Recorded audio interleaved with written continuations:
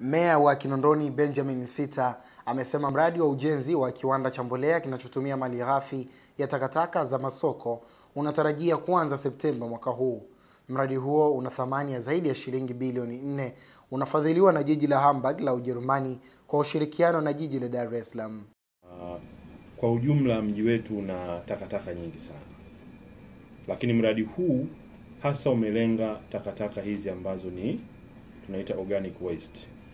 Wenzetu wa City of Hamburg walikubali kutusaidia na tukaingia makubaliano ya kujenga kiwanda hicho eneo la Mabwepande.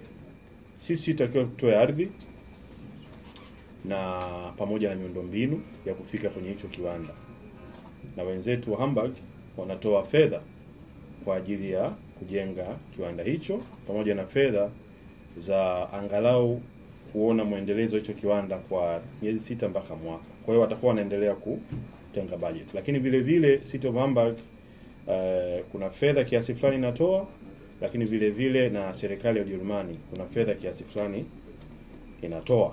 Sita amewaambia wanahabari kuwa hivi sasa wapo katika hatua za mwisho za kumpata mkandarasi wa mradi huo utakaojengwa kwa miezi kumi na mbili. Tunaishukuru sana pia serikali kuu kwa sababu mradi huu una kipengele cha kupata eh, eh, tax exemption kwa sababu ni mradi ambao unatolewa kwa kwa kwa kwa, kwa msaada. Kwa hiyo nashukuru serikali kuu amekubali na ile exemption eh, imekubaliwa.